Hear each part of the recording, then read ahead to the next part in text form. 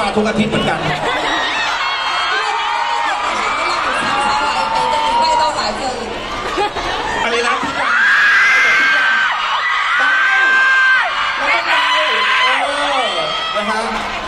ต้องบอกว่าเมื่อคืนนี้เขาเดินทางมาถึง มีแฟนๆ เกือบ 500 คนที่ไปรอเขาที่สนามบินครับนะฮะ ถึงปะวะอยากจะรู้ว่าคุนัไปร้อยคนละแฟนแรกที่เห็นแฟนคลับมารอที่สนามบินเยอะขนาดนั้นเนี่ยรู้สัสึตกอียังไงบ้าง 昨天来到泰国的时候，你们一出来发现说很多粉丝都已经来接机了，你们的感觉是怎么样的一个感觉很？开心啊！然后，因为我们一出机场就发现非常多的小朋友在机场门口等着我们，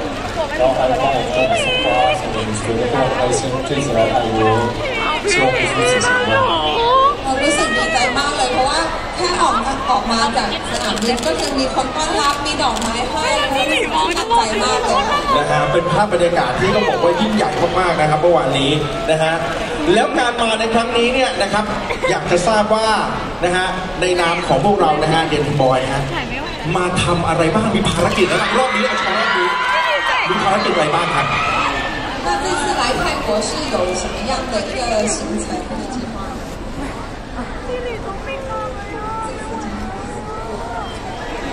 这一次来泰国主要是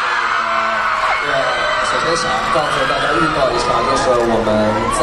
二十六号的时候会有一个泰国的演唱会是。 ภารกิจหลักเลยค่ะก็คือมาให้ทุกคนได้รู้ว่าเราเขาจะมีแฟนมิทติ้งในเร็วๆนี้วันที่ 26มกราคมนะคะ อ่านะฮะเพราะฉะนั้นเราเตรียมตัวเนาะเตรียมตัวเนาะนะฮะพลาดไม่ได้เลยนะครับ อีกเรื่องหนึ่งที่นะครับแฟนๆรอจะฟังมากนะฮะ มีใครเตรียมภาษาไทยอะไรมาคุยกับแฟนๆเป็นพิเศษไหม 那本身想知道说这次有准备什么泰语想要跟大家说的吗？